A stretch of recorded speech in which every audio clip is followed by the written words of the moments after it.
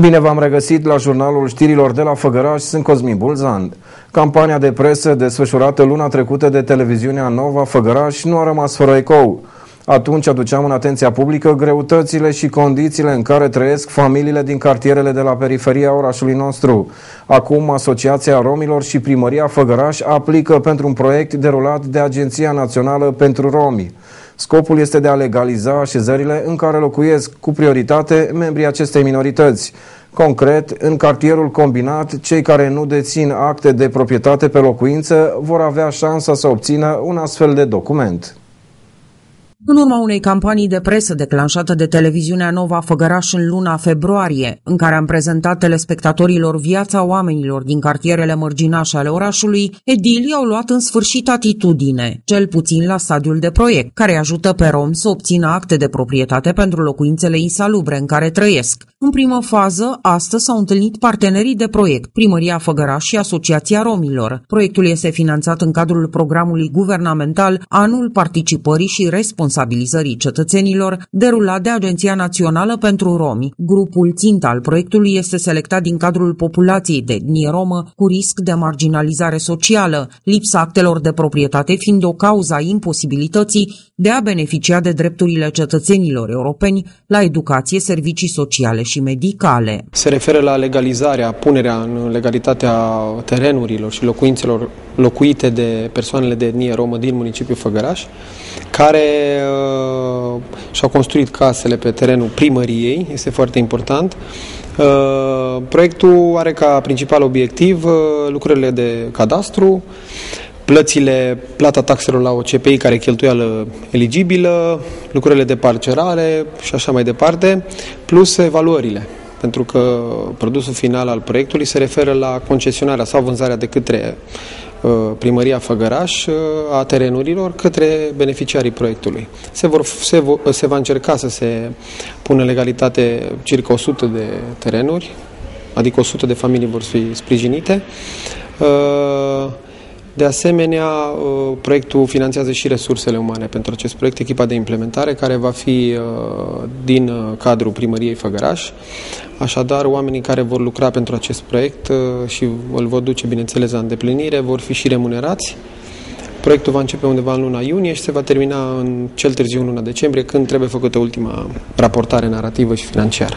Edilii susțin că este unul dintre cele mai importante proiecte pe care le realizează Agenția Națională pentru Romi la nivelul întregii țări, pentru că oferă posibilitatea localnicilor să obțină acte de proprietate și doar așa vor avea acces la educație, asistență socială, locuri de muncă și la un trai mai bun. Susținem orice proiect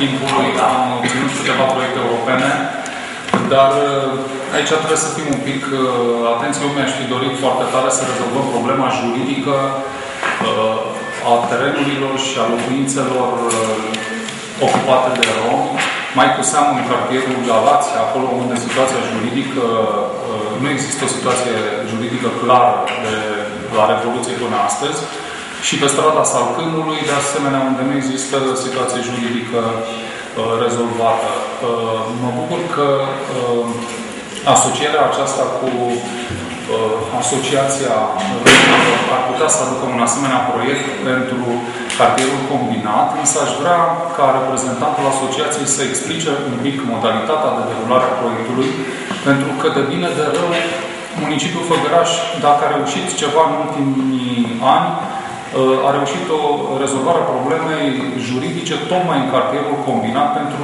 întreg cartierul, și aș vrea să uh, aflăm detalii cu privire la uh, acest aspect, având în vedere faptul că noi am rezolvat situația juridică a întregului cartier uh, combinat. Poate n-am înțeles foarte bine uh, proiectul, dar uh, necesitatea noastră pentru viitor este tocmai de a rezolva problema juridică a celor două zone nerezolvate și am făcut referire la cartierul Galați și la Uh, salcâmul. Înțeleg că se raportează doar la teren aparținând uh, proprietății municipiului Făgăraș, Obiectivul general al proiectului constă în creșterea calității locuirii și asigurarea drepturilor cetățenești pentru 100 de imobile în care locuiesc cetățeni aparținând minorității rome. Printre obiectivele specifice se numără identificarea gospodăriilor din cartierul combinat care nu dețin acte de proprietate, intabularea 100 de proprietăți, realizarea unui parteneriat activ între structurile publice locale și organizațiile non-guvernamentale pentru legalizarea așezărilor în care locuiesc preponderent membrii minorității romilor și crearea bazei de date cu familiile de etnie romă care nu au acte de proprietate. Focuri de armă astăzi în poligonul de la Galați. Alături de militarii Centrului de Instruire pentru Infanterie și Vânători de Munte Făgăraș au fost și civili, care au avut ocazia să-și dovedească abilitățile în tactica de luptă. Concursul de trageri desfășurat sub genericul Cupa 1 aprilie este un eveniment premergător sărbătoririi a 109 ani de existența unității militare din orașul nostru. Cei care s-au remarcat și au reușit să țintească cu precizie vor fi premiați în cadru festiv, chiar în ziua aniversară a unității pe 1 aprilie. Un concurs de tragere cu pistolul mitralieră s-a desfășurat în poligonul Galați din Făgăraș. Sub genericul Cupa 1 aprilie la trageri, militarii au provocat și pe civil, dar și presa la această competiție devenită deja tradițională și care face parte din calendarul activităților prilejuite de sărbătorirea 109 ani de existență a Centrului de Pregătire pentru Infanterie și Vânători de Munte de la Făgăraș. Înainte de toate, cei care s-au înscris la trageri au fost instruiți de comandant. Avem două aparate de ochire. Partea care reglează înălțimea, deci sus-jos, și partea care reglează în plan orizontal, stânga-dreapta. Pentru a executa focul, trebuie să priviți prin această despică, această fantă a foiței înălțătorului, să priviți acest cui al cătării. Ținte situate la 100 de metri de locul de tragere și cartușe pentru fiecare dintre ele. În asta a constat concursul de astăzi. Fiecare a avut la dispoziție 10 cartușe.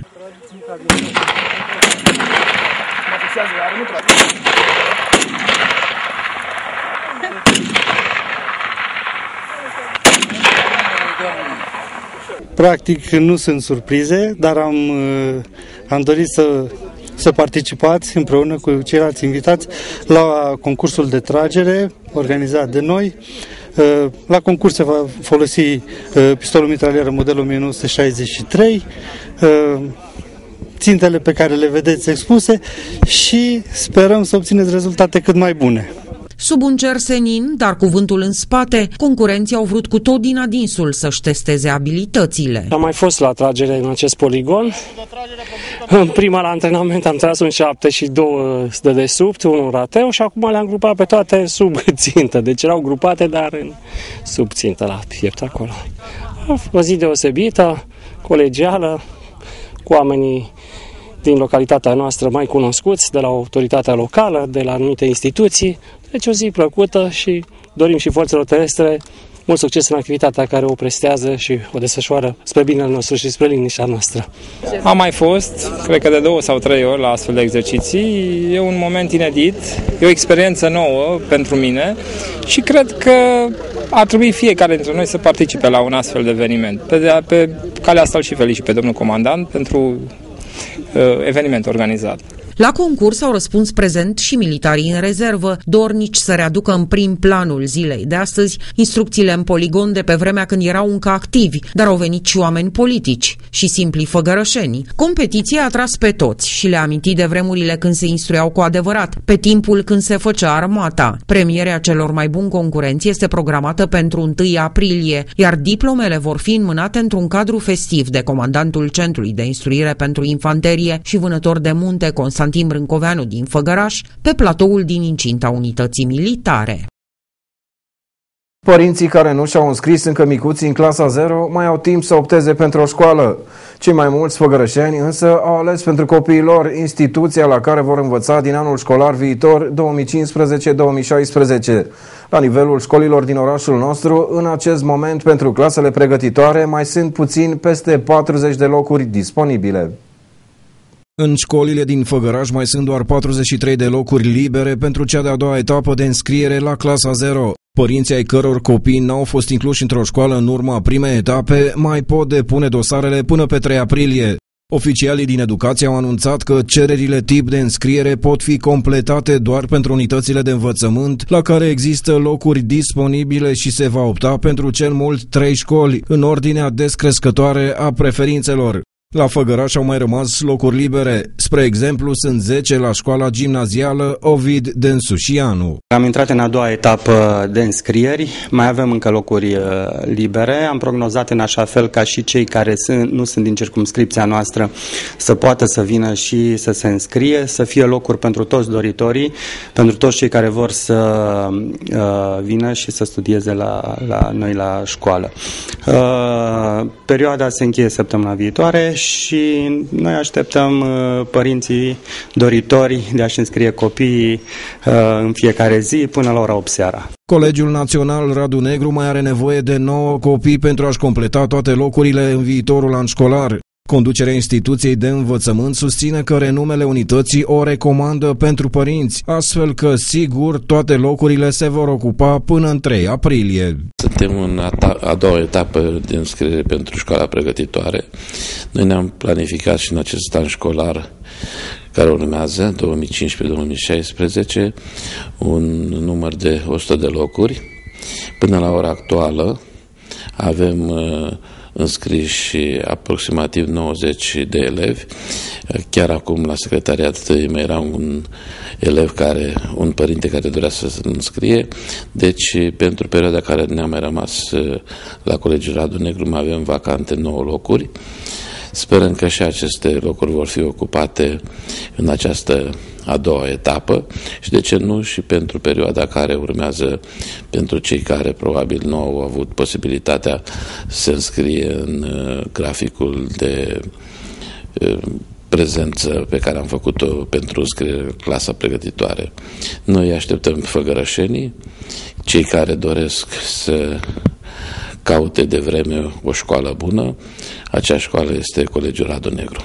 Îi așteptăm pe toți care doresc să dea copii în clasa pregătitoare la Colegiul Radu Negru. La Colegiul Național, doamna Stanca, nu mai sunt locuri libere în clasa cu predare în limba germană, dar la clasele de română au mai rămas 14 locuri libere, acestea fiind împărțite între corpul liceului și cel de la școala numărul 7.